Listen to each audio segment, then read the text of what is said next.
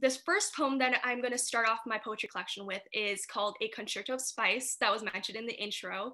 Um, I think it's very integral to my poetry journey because this is kind of what started it all. Um, I presented this at the Senate chambers at the Capitol in California, and um, it won Poetry Ourselves, which I'm so blessed for and really um, started my career. So here it goes. A Concerto of Spice.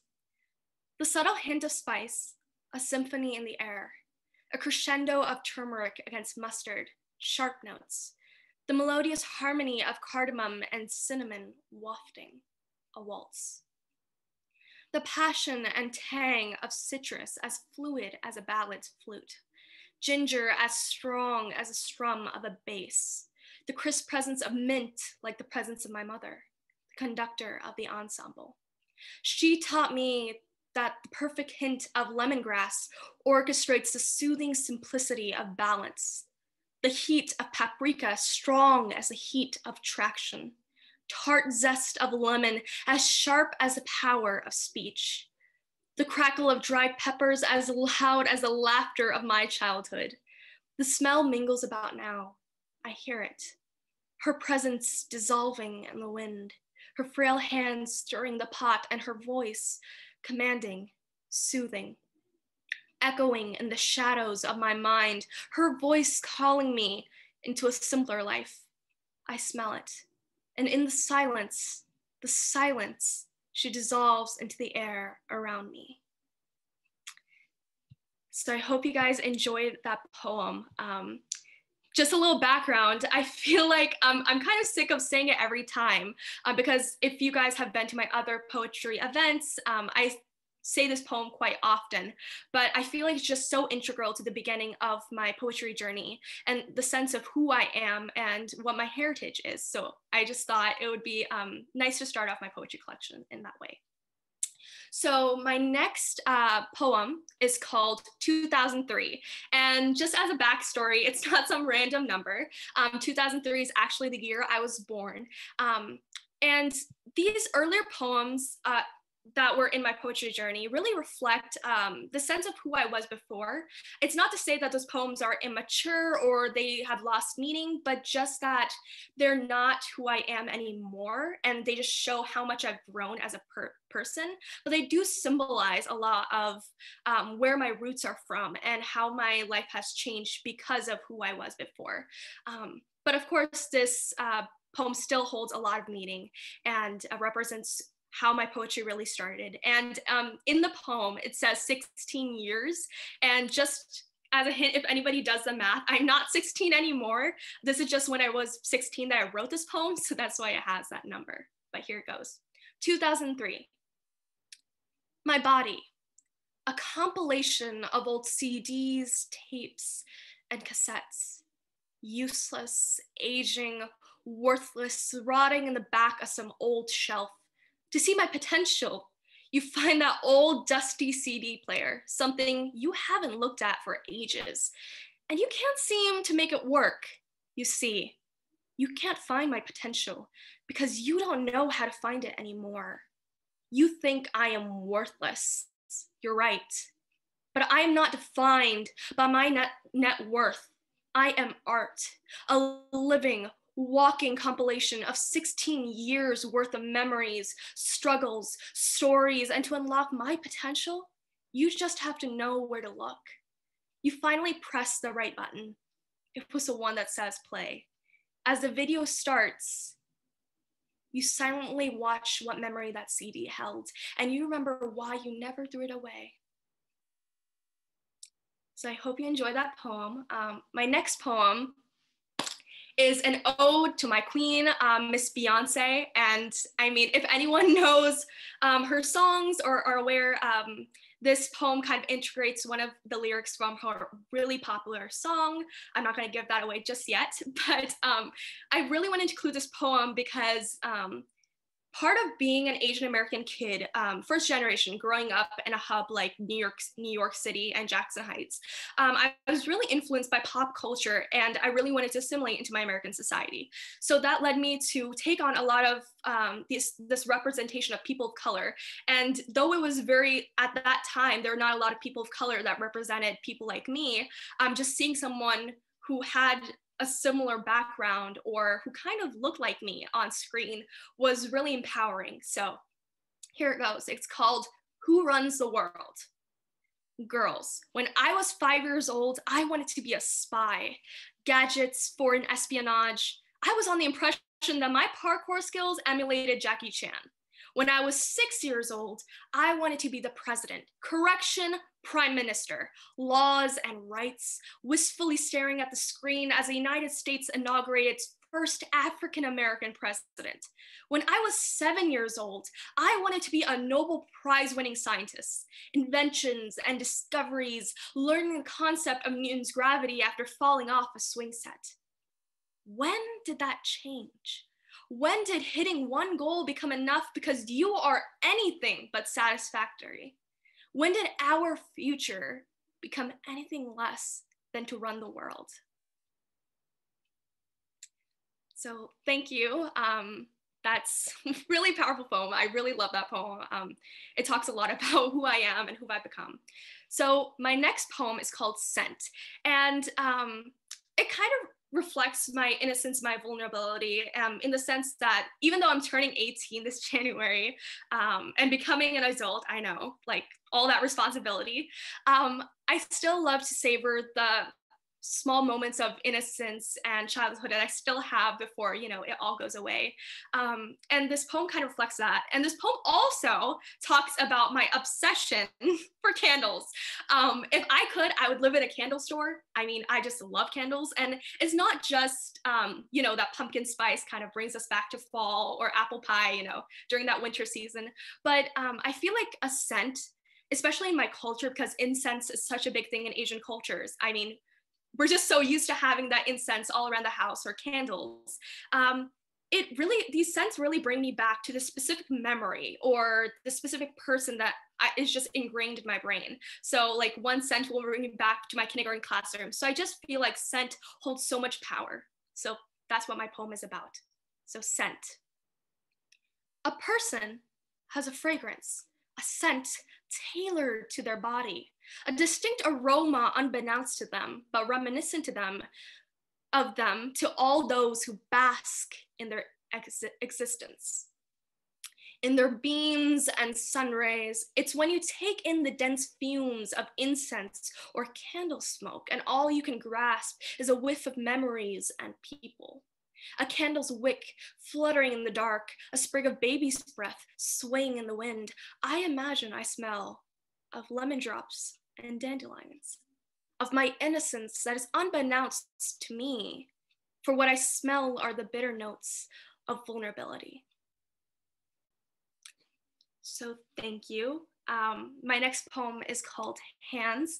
Um, especially in the situation, I mean, in public speaking, I feel like we're always doing something with our hands. Our hands are kind of a refuge. So, you know, you're playing with your hands if you're nervous. Um, and they're kind of like our um, barrier or our link to the tangible things around us because touch is such a big um, important sense in our life so hands my nails pierce white flesh the blood cut off the only color concentrated in gashes and cuts irritating my skin my fists clenched so tight as if I hide something on my palms.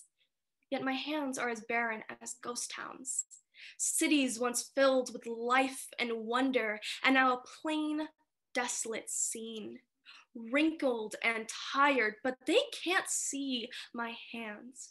They can't see my pain. They can't see the cuts, the bruises, the scars. I gently tuck my hands beneath the table so when they ask me, How are you? I can answer, Just fine. So thank you. That's the end of my poem. Um, my next poem is called um, Lala. and actually, I call my grandmother Lala. And um, just as a background story, um, Lala isn't actually a t- typical um, term for grandmother in my culture. It's called Nani, but I don't know why my cousin just said Lala and then one day it stuck and now we're all calling my grandmother Lala. Um, but this poem really reflects a lot of my muse and my um, poetry because I, a lot of what I write is about the women um, and womanhood in my family and what that means. Because being a girl um, with a south asian background there's a lot of um, taboos and subtle things that you don't realize until you grow up and you're like wow this is really affecting my life. But one thing that stays true is the maternal figures in my life and how they have shaped who i am um, and who i will become. So here it is. Lala. 1983 I wonder what her first smell was first taste, first sound, first sight. The rusted green copper of the ethereal lady gripping her glowing torch. My grandmother saw an image of sacrifices, dreams, and burning futures in that woman. She watched her life slip by in the honey hue of the statue's fire.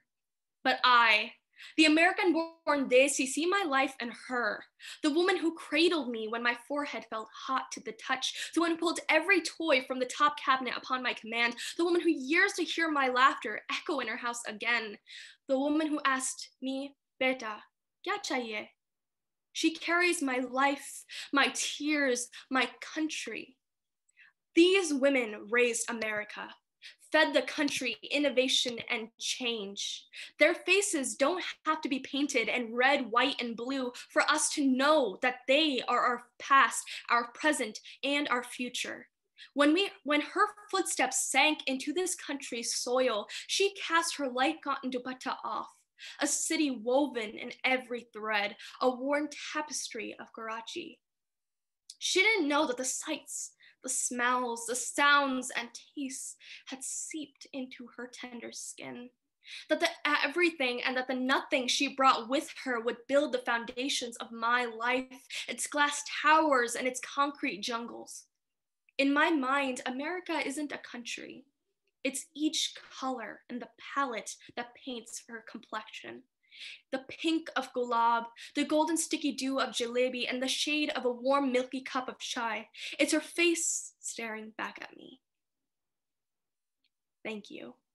Um, this next poem that I'm going to read really shows this um, transformation in my poetry and myself. Um, I feel like this is a time in my life where I had a lot of pent up um, anger and frustration. And whenever I had um, a test that went wrong or an essay that went wrong or my grade wasn't working out in school or something happened, I would come back and I would tell my mom, oh my God, I'm gonna just use this, like, I'm just gonna exchange this anger for like um, some type of, um, I don't know, tangible reward. And I would just sit down my computer and just write everything, being really frustrated. But I feel like what happens in my poetry is that when I go to write something, um, it completely changed something. It completely changed the direction and become something new and something different that I just um, love. So this poem was kind of a result of that pent up frustration. Um, and it's called Barcode. Congratulations, it's a girl. At that point, I would advise you that you put a barcode on my birth certificate. You brought me into this world as a beacon. You came to this country for hope you set me up for success, but I'm sorry. The world was against you. It set me up for failure. My advice, you should have put yourselves first, for those are the rules of the fittest. One priority to crave gold and cut through souls, success could have been yours, but instead you got me a closed door. I'm nothing but a price to them. So let them have it. When girl meets world, it's a barcode that permeates through her skin. I'm inked with my surface value, left for the consumer, advertised to the world who bends me into a number. I'm inspected, face value 10, body value 50, mind value zero. My lips aren't plump with fillers. My, mo- my body is modified or reduced. My mind is worth millions. The foolish girl. Did you know they don't care about your mind? All of them are just searching for your barcode. Um, I hope you like that poem. It's really uh, sticks with me because, especially being a woman, I feel like we're always being judged. We're always um, kind of up for sale, uh, whether that be in media or in society.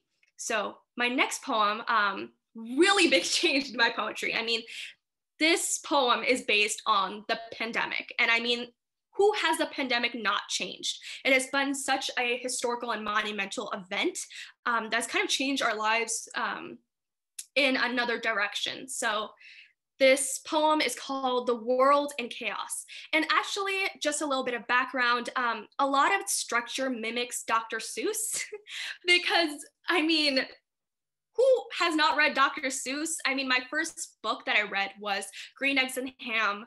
And um, growing up, I mean, being a child, you're like, those are the those are the books that you can actually read the rhyming pattern of Dr. Seuss. But as you grow up and I looked into um, Dr. Seuss, he actually wrote a lot about um, societal problems and society in his um, ch- child books, but we just didn't realize it.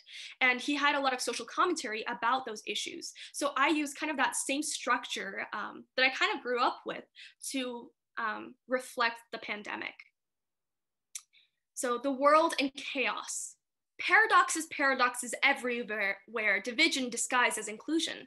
Tons, touch once love warm sensitivity, now cold and rot with disease. Stay away, stay away from me, we yell to our friends and family. We smile behind masks, doing simple tasks, school, work on the street, but only our eyes meet. Our smiles rot from the disease, a disease of chaos. Because when do we start calling abnormalities the new normal? So that's it's pretty short it's a short poem but i feel like it, for me it packs a punch.